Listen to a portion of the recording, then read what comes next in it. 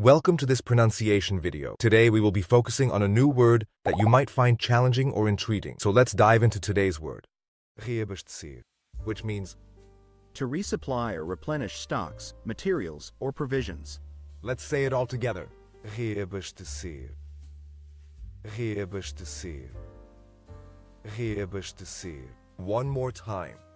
reabastecer, reabastecer, reabastecer. Thank you for joining us on this adventure in pronunciation. Remember, language is a journey, not a destination. Keep exploring, experimenting, and expanding your linguistic horizons. We'll see you next time.